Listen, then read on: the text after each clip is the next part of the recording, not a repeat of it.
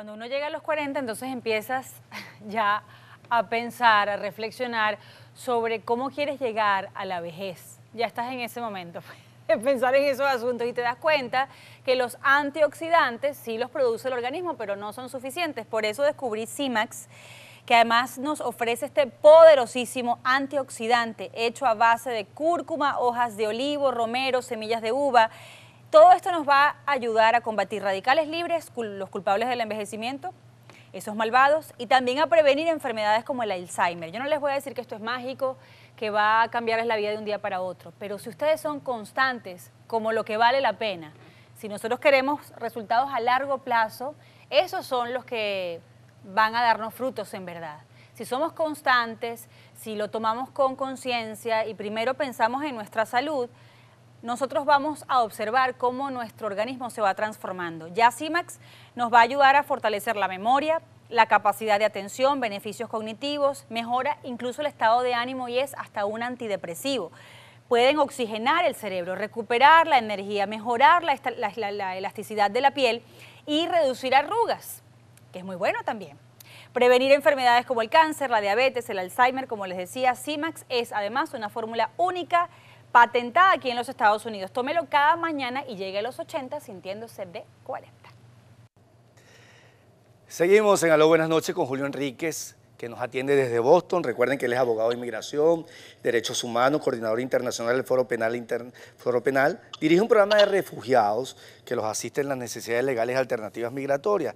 Antes de entrar del tema del caso de anuncio de liberación por parte del fiscal designado por Maduro, Venezuela, ahora, ¿qué impacto, y te pregunto, por, no sabemos, qué impacto puede tener el hecho de que Venezuela esté ahora a partir del primero de enero del año y por dos años en una silla del Consejo de Seguridad de Derechos Humanos, yo insisto con el Consejo de Seguridad, el Consejo de Derechos Humanos, eh, en, cuanto a las seis denuncias de seis países distintos ante la Corte Penal Internacional al régimen de Maduro por crimen de lesa humanidad, ¿tiene algún impacto? ¿Pudiera frenar esto, pues esas denuncias?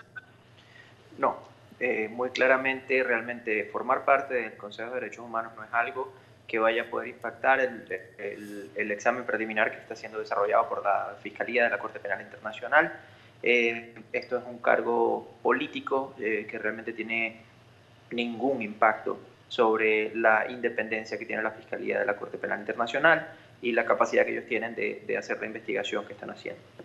Ahora fíjate, hoy se anuncia la liberación o escarcelación, que es distinto, de 23 personas. Y ya hay quienes, eh, quienes están diciendo, ojo, mosca con el efecto de, puerta giratoria. Sacan uno, pero entran 30, ¿no? ¿Qué, información está manejando? Bueno, eh, varias cosas. Primero que nada, el Foro Penal no ha podido verificar la cifra de la que habla eh, el, el, el, fiscal usurpador.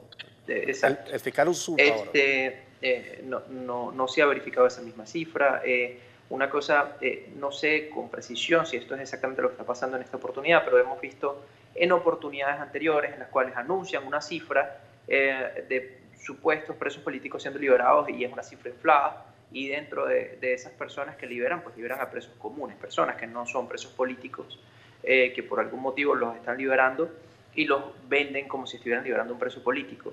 Eh, nosotros a, esta tarde habíamos podido verificar, foro penal, había podido verificar la liberación, la excarcelación de 12 eh, presos políticos. es posible que haya más, pero no tenemos todavía la confirmación. Eh, a estas alturas. ¿no? Algunos eh, nombres, todos civiles, algunos militares, algunos nombres que pues pudieras recordarnos de esa lista de 12 que ya han confirmado.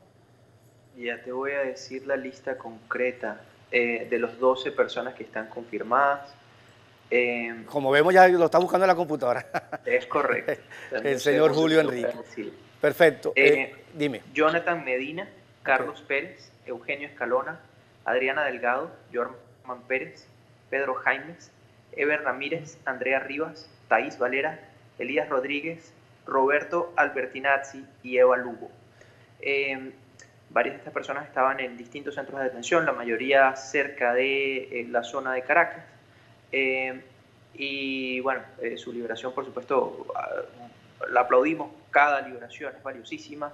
eh, es maravilloso para, para él, el, individuo, para su familia, poder estar en, eh, en, libertad, pero entendemos que esto no en lo absoluto cambia el sistema. El sistema implica constantes detenciones y liberaciones. Hace poco teníamos 466 presos políticos, hoy vamos a tener pues bueno, unos cuantos menos, eh, pero todavía por encima de 400 presos políticos. Eh, esta liberación no hace nada para, para evitar eh, que en el futuro sigan deteniendo personas como en efecto han venido haciendo desde 2014 muy claramente. La práctica ha sido liberar un grupo y seguir encarcelando constantemente. Así Las encarcelaciones continúan y ese es el efecto puerta giratoria. Julio, de, esos 12, de esas 12 personas que ya han confirmado, ¿son liberaciones? Eh, libertad plena, sigue el juicio. ¿Qué información manejan en ese sentido? Todas esas informaciones son, son cosas que no hemos podido verificar todavía. Eh, hoy ocurrieron las excarcelaciones con muchísima frecuencia. Estas excarcelaciones ocurren de la manera en la que se maneja el sistema judicial en Venezuela, es decir, sin ningún, eh, seguir ningún protocolo eh, típicamente debe venir una orden de excarcelación de un tribunal y debe, debe seguirse un protocolo eh, que en, muchos de estos casos vemos que no se cumple. Hemos visto incluso excarcelaciones en las cuales el tribunal ni se había enterado que alguien ha sido soltado. Hemos visto órdenes de excarcelación, montones de órdenes de excarcelación y luego los, los cuerpos de seguridad no cumplen con la orden. Entonces eh, es muy temprano para poder decir con precisión bajo qué formato, si, si son liberaciones, si son eh, eh, liberaciones plenas, si son personas que van a estar bajo medidas cautelares, no sabemos con precisión aún. Oye Julio, muchísimas gracias por atendernos esta noche, siempre muy amable. Muchas gracias a ti por la invitación. Así es. Julio Enríquez, lo pueden seguir a través de su cuenta en Twitter, JC Enríquez Paz. Nosotros tenemos que ir a la pausa, ya venimos, vamos a hablar con el diputado William Dávila desde Venezuela.